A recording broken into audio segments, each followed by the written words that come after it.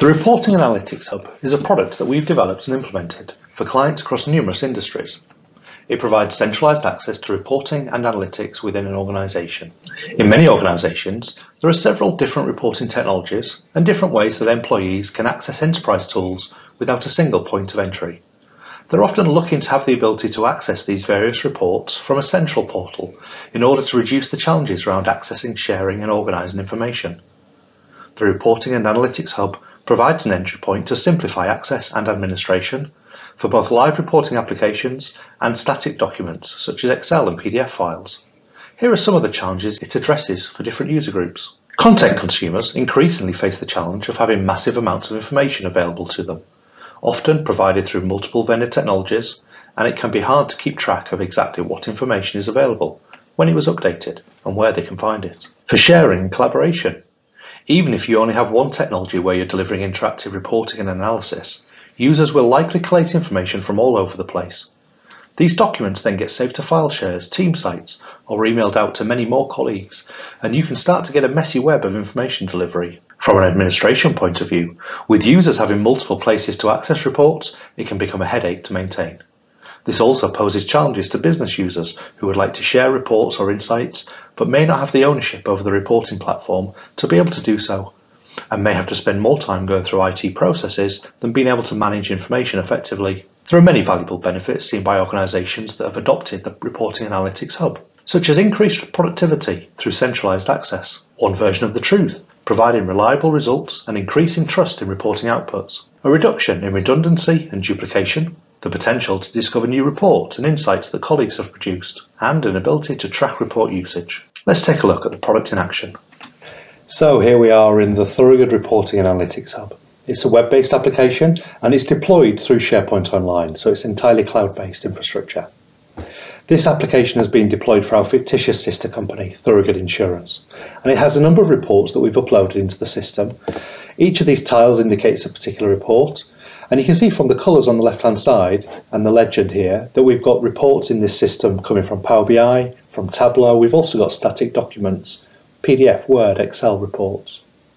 They've been organised into the departments that they serve, so you can see finance reports, market management reports, underwriting reports. And I can quickly search using the bar at the top to find a report that meets a, a, need that I have. So if I search for property, you see it quickly filters the list. And what the engine in the background is doing is comparing that search criteria with the title of the reports, but also all sorts of metadata that we've uploaded and tagged this report with when we've added it to the system to make it easier for our colleagues to find it.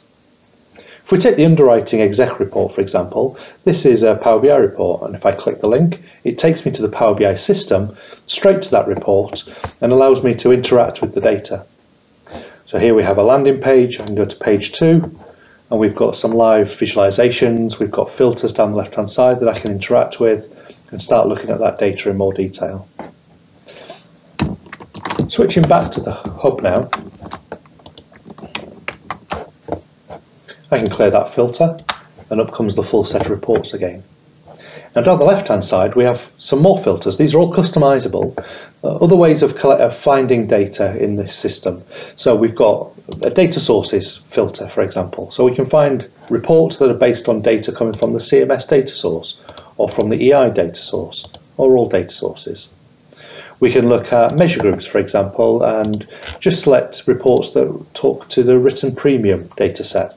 And you can see when I choose a selection here, the filter icon appears to show me that a filter has been selected, and I can mix and match, and I can find Power BI reports that work with the written premium data set. Easy to clear those reports again. Now, against all of these reports, you may have noticed this little three ellipses in the bottom corner. So I can choose to click here, and up pops this uh, metadata view. So I can see here all of the data that's been tagged to the report when it was loaded into the system that feeds these filters and feeds the search engine in the background.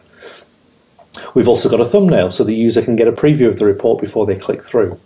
We can see the frequency with which data is refreshed. We can look at the measure groups and dimensions that are included in that particular report.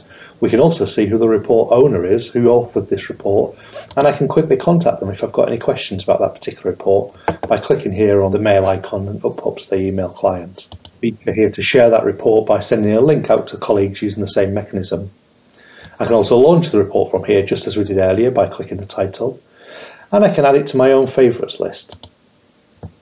We also have the ability, should you wish, to add a user guide and report specification information so that there's a bit more detail there for those who really want to dive deep into how this report has come about and how to make use of the, the data that it shares. So I've added this particular one to my favourites list. So now we can go over to favourites at the top there, and here we are. Here's the list of reports or report that I've favorited so far. And if I've changed my mind, I can remove that from my list. So a nice quick way to find the reports that you use regularly and to keep them close by. Thanks for watching.